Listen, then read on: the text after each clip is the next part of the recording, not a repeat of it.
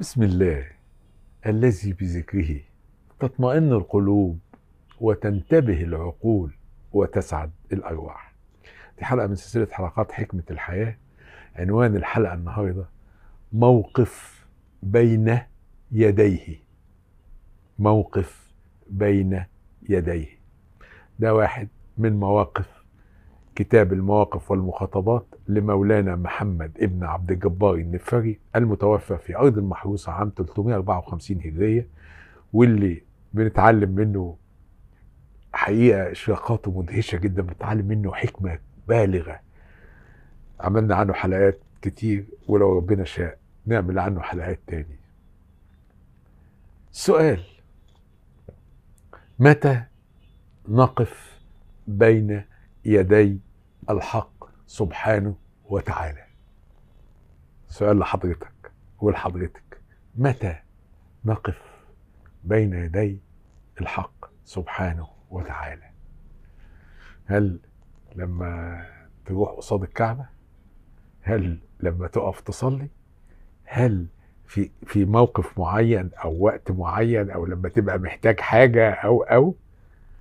الإجابة أهل البصيرة أهل الطريق بين يدي الحق سبحانه وتعالى في كل لحظة.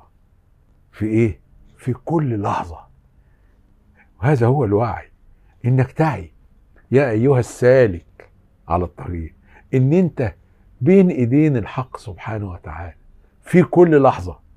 في كل لحظة مش وقت ووقت. لا ده وقت وقت ده وقت الغفلة. انت لما بتغفل ما بتبقاش واقف بين ايديه. لكن لو انت واعي لو انت منتبه ستدرك إذا كنت من أهل البصيرة إن انت بين ايديه. في كل لحظة بين ايديه. مش الآن مش الآن. لا لا لا مش الآن. ده من أيام ميثاق الزر لما كنت واقف في ميثاق الزر واشهد ألست بربكم؟ قالوا بلى. حضرتك قلت بلى. انت من اللحظة دي وانت بين ايديه. لحد مش دلوقتي لحد لحد لحد اللا نهاية. دي نظرة أهل البصيرة مش الناس العادية. ده موقف رقم 55 وعنوانه موقف بين يديه. بيقول كده مولانا. نسمع كم سطر دول. أوقفني بين يديه وقال لي اجعل الحرف وراءك. وإلا ما تفلح. واخذك إليه. وقال لي الحرف حجاب. وكلية الحرف حجاب. وفرعية الحرف حجاب. وقال لي لا يعرفني الحرف. ولا ما في الحرف. ولا ما من الحرف. ولا ما يدل عليه الحرف. وقال لي المعنى الذي يخبر به الحرف حرف والطريق الذي يهدي إليه حرف. وقال لي العلم حرف لا يعربه إلا العمل والعمل حرف لا يعربه إلا الإخلاص والإخلاص حرف لا يعربه إلا الصبر والصبر حرف لا يعربه إلا التسليم. الله. الله. الحرف هنا يا جماعة. والله أعلم. هو الشكل. هو الشكل. حضراتكم عارفين في تراثنا الإسلامي وتراث الإنسانية دائما هناك فيه أهل النص أهل الحرف النصيين اللي بيقفوا عند الحروف والكلمات ويتشبثوا بيها. ويتخيلوا إن الحقيقة في داخل هذه الحروف وهذه الكلمات وهذا غير صحيح. الشكل كله اللي واقف عند حدود الحرف عند الظاهر عند الظاهر الحرف ده هو الظاهر. كل ما هو توقف عند الظاهر معناه إن هو بيفقد الحقيقة اللي هي في الباطن. الحقيقة مش في الظاهر الحقيقة في الباطن. في تعبير لمولانا النفاري بيسميه ما لا ينقال اللي ما بيتقالش عملنا عنه حلقة. فبيقول مولانا النفاري إن لم تشهد ما لا ينقال لو ما شفتش اللي ما بيتقالش تشتت بما ينقال إذا لم تستطع يا أيها السالك على الطريق أن تدرك ما لا يقال. هو في حاجات ما بتتقالش؟ ياه أهم الحاجات ما بتتقالش والله. الح... الأهم الح... الكل اللي بنقوله ده هذا الكلام الذي نقوله مجرد إشارات مجرد إشارة. لكن ال... ال... ال... الشيء العميق خالص الشيء العميق خالص ما, ما ينفعش يتقال. لا تستطيع هذه الكلمات أن تحيط به. ما ينفعش إنك تقوله. بيتكلم هنا عن الإعراب. العلم حرف لا يعربه إلا العمل. هذا الإعراب. إيه الإعراب ده؟ الإعراب هو البيان. يعني هذا العلم يا صاحب العلم لا بيان له إلا من خلال العمل. أنت عملك إيه؟ مش مهم علمك إيه عملك إيه. وهذا العلم لا يعربه لا يبين حقيقته إلا الإخلاص. وأنت بتعمله إيه؟ مظهرية؟ يعني بتعمله تظاهر بيه؟ لا ده الإخلاص هو اللي بيبين حقيقة هذا العمل. والإخلاص ده نفسه ما بيأكدوش إلا الصبر عليه والصبر ده لا يعربه إلا التسليم. التسليم ده يا جماعة قلناها قبل كده ونقولها تاني. التسليم ده هو بداية هذا الطريق ونهايته. هو إيه؟ بداية هذا الطريق ونهايته. أن تسلم الأمر لصاحب الأمر يا صاحب البصيرة. تسلم الأمر لصاحب الأمر. هو ده بداية الطريق ونهايته. بيكمل مولانا وقال لي السوى كله حرف والحرف كله سوى آه. هنا بقى بان قصده بالحرف. سوى عالم السوى كل ما سوى الحق سبحانه وتعالى هو حرف هو شكل هو ظاهر هو ظاهر هو مش حقيقي. كل ما سوى الحق سبحانه حرف والحرف كله سوى كل العالم الأشكال والمادة والظواهر والمظاهر. أقول لكم حاجة كمان حتى قوانين المنطق قوانين المنطق اللي الواحد درسها ودرسها هذا المنطق اللي بنتحكم فيه في حياتنا المادية كلها ده كل ده حرف ده كل ده مظاهر. الحقيقة بتتجاوزه تتجاوزه نهائيا لأهل البصيرة.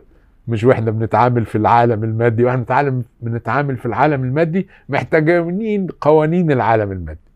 ومحتاجين محتاجين قوانين المنطق. لكن لما تتجاوزه لما تتجاوز الظاهر لا تلاقيك بتتجاوز كل قوانين المنطق. كمل مولانا. اسمعوا بقى دي جاية دي جامدة قوي قوي قال لي تعرفي إليك بعبارة توطئة لتعرفي إليك بلا عبارة. وقال لي إذا تعرفت إليك بلا عبارة خاطبك الحجر والمضر. الله الله. دي دي يا جماعة مهمة جدا جدا لأهل الطريق. الحروف دي اللي بتشكل الكلمات وبعدين تشكل العبارات.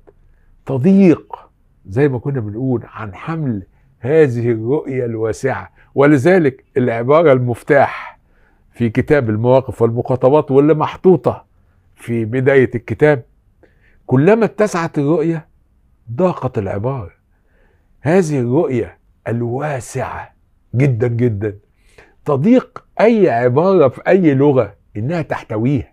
وبالتالي تضيق بمعنى إن العبارة لا يمكن أن تعبر عن رؤية بهذا الاتساع.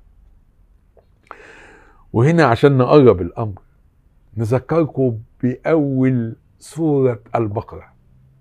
ألف لام ميم. ذلك الكتاب لا ريب فيه. هدى لمين؟ هدى لمين؟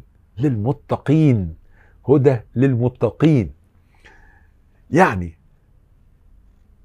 انت عشان تعرف الحق كويس لازم تكون من المتقين دول عشان الحق يهديك.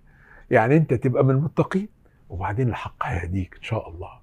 وبالتالي تعرفي إليك بعبارة توطئة تمهيد مقدمة. لتعرفي إليك بلا عبارة. آه بينك وبين الحق بلا عبارة. ولما تعرفوا بلا عبارة يحصل إيه؟ خاطبك الحجر والمضر. المضر في اللغة بس هو المدن والقرى. يعني المقصود أهل المدر هم سكان المدن وسكان القرى. يعني إيه خطاب يعني هيخاطبك الكون كله. الكون كله يخاطبك؟ آه الكون كله يخاطبك لما هتبقى سالك على الطريق إن شاء الله هتكتشف إن الكون كله بيبعت لك رسائل. ليك أنت. الكون كله. أيوه الكون كله بيبعت لك رسائل ليك أنت. رسائل من الحق سبحانه. هذه الرسائل مش دايما بتبقى بالكلمات. مش دايما بتبقى بالكلمات. ارجع تاني للحلقة بتاعت ما لا ينقال. الرسائل مش دايما بتبقى بالكلمات. أمال أحيانا بتبقى بالأحوال. والأحوال لأهل البصيرة أفصح كثيرا جدا من الأقوال. ولذلك مولانا محي الدين ابن عربي بيعلمنا حاجة كانت مدهشة قوي واتكلمنا عنها في حلقات سابقة. علم الرسائل المبثوثة علم الرسائل المبثوثة. إيه ده؟ آه كل مخ كل مخلوقات الحق سبحانه وتعالى تحمل رسائل لمين؟ لأصحابها. كل المخلوقات مولانا ابن عربي بيقول لك الدودة اللي ماشية في الأرض دي الدودة اللي ماشية دي بتحمل رسالة. تحمل رسالة ليا لا تحمل رسالة لصاحبها. الله أعلم بصاحبها. الله أعلم. بس فكرة إن كل المخلوقات بتحمل رسالة وكل رسالة لأهلها.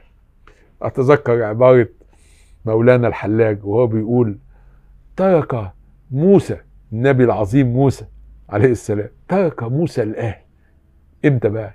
حين صار للحقيقة أهل لما وصل لهذا المستوى إنه بقى يبقى من أهل الحقيقة. ترك الاهل لأنه بقى من أهل الحقيقة. نكمل مولانا النفاري وهو بيقول إن سكنت إلى العبارة نمت وإن نمت مت. فلا فلا بحياة ظفرت ولا على عبارة حصلت. مدهش مدهش مولانا. لو سكنت العبارة هتبقى إيه؟ هتبقى نمت عند العبارة. ولو نمت تبقى إيه؟ تبقى مت. تبقى مت. التوقف عن الحروف والكلمات عند المظاهر وعند الظاهر ده يخليك تنام عندها. ولما تنام تموت. تموت عن إيه؟ عن إنك تواصل الغوص في الباطن. في عالم الباطن زي ما قلنا قبل كده عالم الشريعة أن تعبده لكن عالم الحقيقة أن تشهده. فأهل الظاهر زي ما جه في صوت الروم يعلمون ظاهرا من الحياة الدنيا وهم عن الآخرة هم غافلون. العالم العالم بصوا حواليكم العالم كله غارق في إيه؟ غارق في الظاهر غارق في الظاهر والمظاهر. لكن الحقيقة أهل الحقيقة مش بيخشوا مش بيخشوا لمستوى الباطن والحقيقة. ولذلك زي ما كان قال لنا وعلمنا مولانا محي الدين ابن عربي إن من لم يراه من لم يرى الحق سبحانه وتعالى هنا والآن لم يرى شيئا على الإطلاق. دول مش نايمين دول ميتين دول ميتين فعلا. أي حياة يعيشها إنسان مش شايف الحق. أي حياة دي؟ دي حياة قاعد حياته كلها منذ وجوده بيجري ويلهث ورا الحياة الدنيا ومش شايف الحق. أي حياة دي؟ خليني أضرب مثل لتبسيط هذا المعنى للناس العاديين يجوز مش لأهل الطريق. تخيل حضرتك إنسان إنسان سوي كده ربنا أعطاله أم طيبة فذاق فذاق حلاوة وجمال وحنان أمه. إنسان عاشت معاه عقود من حياته طويلة. هذا الإنسان بيتمتع ويستمتع بحنان أمه. تخيل إنسان آخر فقد أمه في بداية حياته وعاش حياته كلها بلا أم لم يتذوق أبدا. هذا الحنان المهول اللي بت... اللي ممكن كانت تقدمه ليه أمه. شوفوا بقى المثال ده. وشوف الحنان الإلهي. الحنان الإلهي. تخيلوا يا جماعة ناس مش شايفين ولا بيتذوقوا الحنان الإلهي. أي نوع من البشر هؤلاء؟ أي نوع؟ بيكمل مولانا. قال لي العلم الذي ضده الجهل علم الحرف والجهل الذي ضده العلم جهل الحرف فاخرج من الحرف تعلم علما لا ضد له وهو الرباني وتجهل جهلا لا ضد له وهو اليقين الحقيقي. الله الله. علم لا ضد له. آه طبعا في علم لا ضد له اللي هو إيه؟ علم الشهود حضرتك. علم الشهود عندما تشاهده لا ضد له. تجهل جهلا لا ضد له. إيه ده؟ ده جهل السوى عالم المظاهر ده جهل عالم الضلالات. هذا العلم هو العلم الحقيقي وهو اليقين الحقيقي يقين الشهود. كمل مولانا. وقال لي إذا جزت الحرف إذا تجاوزت الحرف وقفت فين؟ وقفت في الرؤية. إذا جزت الحرف وقفت في الرؤية. كل ده هذا الطريق الروحي هذا التعليم كله عشان يوصل لإيه؟ يوصل لرؤية. ولذلك قال في موقف آخر مولانا النفاري مقامك مقامك إيه؟ هو الرؤية. هو رؤيتك. كيف ترى الحق؟ كيف ترى العالم؟ كيف ترى الكون؟ هو ده مقامك. مقامك إيه؟ مقامك هو الرؤية. والطريق ده طريق أهل الشهود أهل الحقيقة مش أهل المعارف النظرية أهل التجربة الروحية. العيش بالله في نور الله ولله زي ما جه في سورة الأنعام. قل إن صلاتي ونسكي ومحياي ومماتي لله رب العالمين. بين إيديه الوقوف بين إيديه. وده جزء صغير من حكمة مولانا النفري والحكمة كما تعلموا ضالة المؤمن ورأس الحكمة مخافة الله.